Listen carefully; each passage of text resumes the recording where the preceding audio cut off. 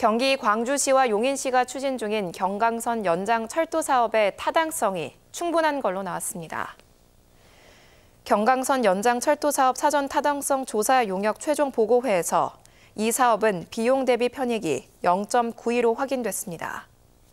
국가 철도망 계획에 반영하는 노선은 비용 대비 편익이 0.7 이상일 경우 적격성을 갖춘 걸로 평가합니다.